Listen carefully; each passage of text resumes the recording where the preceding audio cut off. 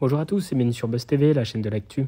Aujourd'hui, nous nous retrouvons pour clash entre Louis Bouillard dans TPMP, si Alona sort du silence.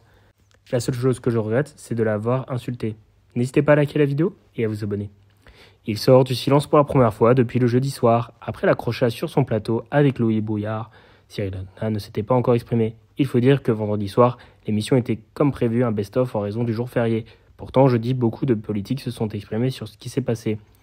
Elle est arrivée par le biais d'un message Twitter. Mes chéris, je suis entier, loyal, sincère, et je serai toujours moi-même. À l'antenne, je suis sanguin, et vrai, comme certains politiques. La seule chose que je regrette, c'est de l'avoir insulté. Ce n'est pas mon exemple. Pour le reste, je ne regrette rien, et je défendrai toujours mes amis. Je vous aime. Pour le spécialiste en communication, interrogé par l'AFP, l'incident est symptomatique d'une très grande violence vis-à-vis -vis du politique. Merci à tous d'avoir regardé la vidéo, n'hésitez pas à la liker et à vous abonner.